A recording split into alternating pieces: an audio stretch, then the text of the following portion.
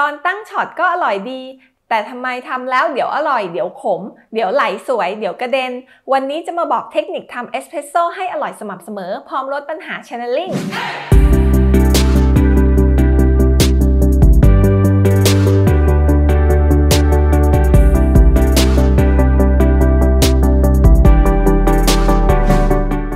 สวัสดีค่ะบุญช่องบุญนิสต้านะคะ วันนี้เนี่ยเราก็มีเทคนิคการชงกาแฟมาเล่าให้ฟังอีกแล้วค่ะ ชื่อว่าหลาย ๆ คนเนี่ยก็คงจะเคยเห็นอุปกรณ์หน้าตาแบบนี้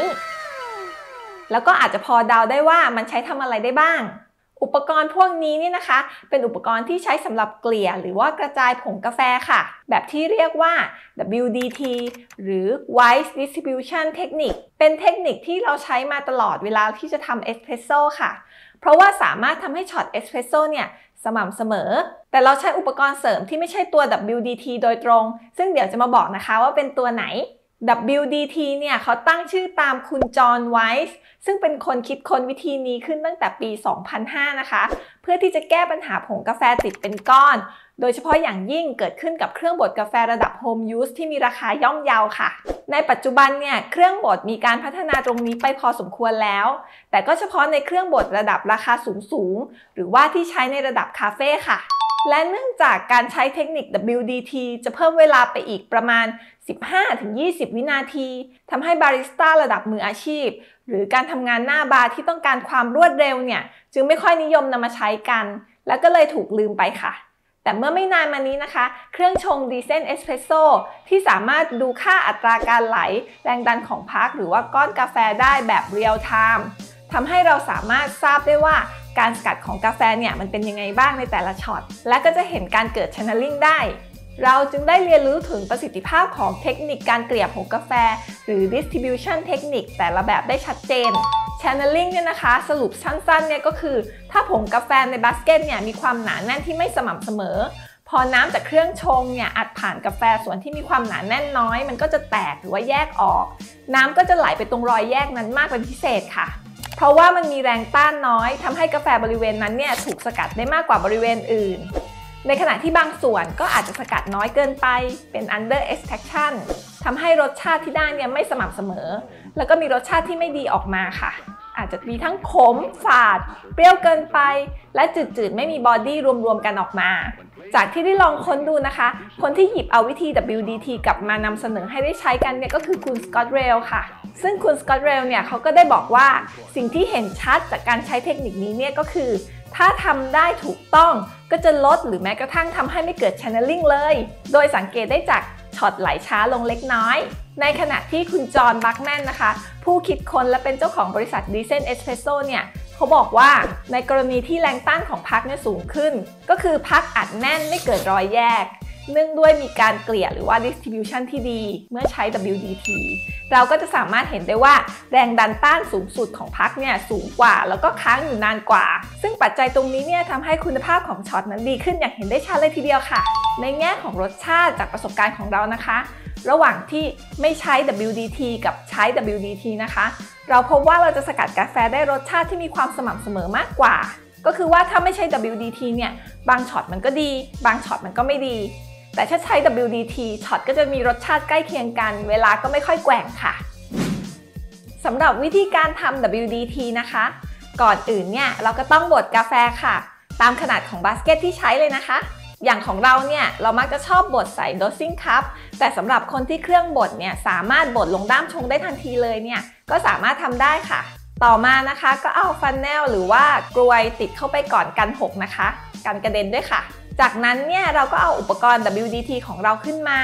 แล้วก็เขี่ยเขี่ยให้ตรงที่มันกองกองอยู่เนี่ยกระจายออกไปในบาสเกตนะคะ ประมาณว่าดูให้มันสูงสม่ำเสมอใกล้เคียงกัน แล้วก็เริ่มได้เลยค่ะ ขั้นตอนที่ 1 นะคะ จิ้มอุปกรณ์ลงไปจนถึงก้นของบาสเกต แค่ชนเบาๆก็พอนะคะ จากนั้นเนี่ยก็ปัดซ้ายปัดขวาตีผงกาแฟให้แตกออก แล้วก็หมุนวนเป็นวงค่ะ เป็นรอบใหญ่สัก 2-3 รอบ จะทวนเข็มหรือตามเข็มก็ได้นะคะ แล้วแต่ถนัดเลยค่ะ แนะนำว่าให้หมุนไปทางเดียวกันตลอดการทำงานทุกขั้นตอนนะคะ ขั้นตอนที่ 2 ค่อยๆ ปั่นวงเล็กๆ ไล่จากขอบด้านนอกเข้ามาตรงกลางค่ะ ขั้นตอนที่ 3 ยกเข็มให้สูงขึ้นมากะกะเอาให้ปลายเข็มเนี่ยสูงจากก้นบาสเกตประมาณครึ่งหนึ่งแล้วก็วนซ้ำเหมือนกับขั้นตอนที่ 2 ขั้นตอนที่ 4 ยกเข็มให้สูงขึ้น วนเกลี่ยโดยเฉพาะที่ผิวหน้าให้เรียบนะคะ และเกลี่ยให้ผงสูงสม่ำเสมอกันทั้งบาสเกตเบาๆ ยิ่งขึ้นมาที่ผิวหน้าเนี่ยยิ่งต้องเบามือลงนะคะ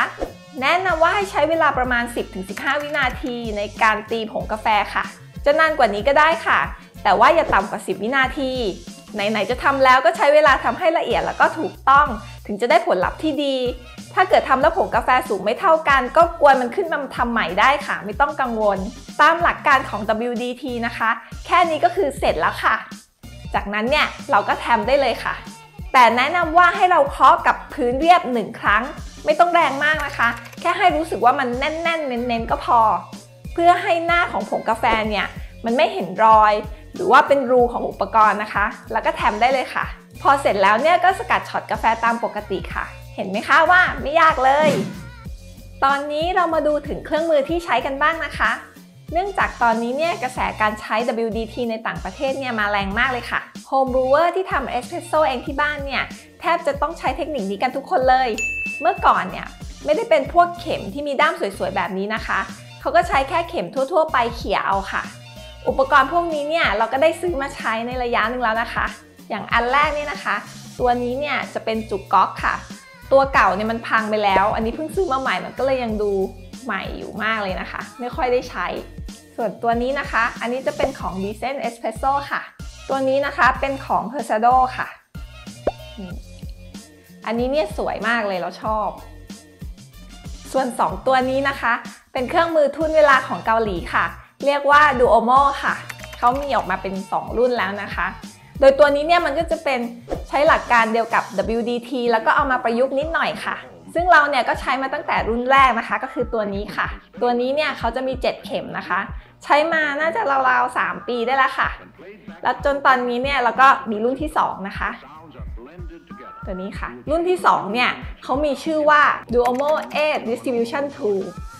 ซึ่งก็ สั่งไปนานพอสมควรเหมือนกันนะคะ กว่าจะได้ของ ตัวนี้เนี่ยเขาจะมี 8 เข็มค่ะ แล้วตัวเข็มเนี่ยเขาก็จะมีขนาดเล็กกว่ารุ่นแรกนะคะ ก็จะเห็นว่าเครื่องมือที่ใช้เนี่ยก็ออกมาหลากหลาย ตั้งแต่อันนึงไม่กี่ร้อย จนถึงอันละเป็นหลายๆพัน อย่างเช่นตัว Duomo 8 จากที่เราได้หาข้อมูล เผื่อใครเนี่ยจะซื้อหรือว่าจะ DIY ก็ไม่ยากเลย แล้วเราจะใช้ตัวไหนดี เราเอาข้อมูลมาเล่าให้ฟังประกอบการตัดสินใจนะคะ 1. ตัวแท่งหรือเข็มที่ใช้เนี่ยไม่ควรใหญ่เกิน 1มิลลิเมตรเพราะเราจะต้องการที่จะตัดก้อนผงกาแฟเนี่ยให้แตกออก ให้มันฟูเป็นผงให้มากที่สุด ถ้าใหญ่เกินไปเนี่ยมันก็จะเกิดการเขี่ยไปเขี่ยมา ไม่ได้ตัดผ่านหรือว่าตีให้แตก ดังนั้นเนี่ยพวกคลิปหนีบกระดาษ ไม้จิ้มฟันไม่แนะนำนะคะ 2. ตัวเข็มเนี่ยไม่ควรเล็กกว่า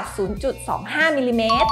เพราะว่ามันจะอ่อนเกินไปค่ะ เวลาที่เราปั่นตัวอุปกรณ์เนี่ยเข็มก็จะถูกผงกาแฟดันกลับจนงอโค้ง และกระจุกเป็นก้อน รวมถึงเข็มไม่แข็งแรงด้วย แต่เข็มเล็กๆเนี่ยก็เหมาะสำหรับการเกลี่ยบนผิวด้านบนนะคะ ข้อ 3 ขนาดเข็มที่แนะนำเนี่ยก็คือ 0.35ถึง0.4มิลลิเมตรจะให้ประสิทธิภาพสูงสุดค่ะ ข้อ 4 ขนาดที่มีประสิทธิภาพรองลงมาก็คือ 0.5 ถึง 0.8 มิลลิเมตร ข้อ 5 ไม่แนะนำให้ใช้อุปกรณ์ที่มีห่วงใหญ่ ๆ ด้านปลาย เพราะจะไม่สามารถตีผงที่อยู่ก้นบาสเกตได้ทั่ว รวมถึงมักจะเป็นแท่งใหญ่ที่ตัดผ่านผงกาแฟไม่ได้ค่ะ ข้อ 6 แนะนำให้ใช้ฟันเนลหรือว่ากรวยกรอกผงกาแฟ ติดขึ้นไปบนบาสเกตนะคะ เพื่อลดปัญหาผงกาแฟเนี่ยหกกระจายออกมาค่ะ ข้อ 7 กาแฟคั่วเข้มเนี่ยมีแนวโน้มที่จะจับเป็นก้อนได้มากกว่า รวมถึงกาแฟที่ชื้น อย่างเช่นบดรอทิ้งไว้ใน doser ของเครื่องบดชนิดที่มันบดกาแฟรอไว้ได้พอเราปล่อยผงลงมาเนี่ยมันก็อาจจะจับตัวเป็นก้อนได้ง่ายนะคะ ดังนั้นเนี่ยเราก็ไม่ควรบดรอกาแฟนานเกินไปค่ะ ข้อที่ 8 สำหรับคนที่จะ DIY ให้ใช้เข็มนะคะสำหรับฝังเข็มค่ะ สั่งซื้อได้ตามเน็ตไม่ยากเลย ราคาไม่แพงก็แนะนำขนาด 0.35ถึง0.4มิลลิเมตรอ๋ออันนี้นะคะ อันที่เป็นจุกก๊อกเนี่ย อันนี้จะเป็นเข็มที่เป็นเข็มของฝังเข็มนะคะ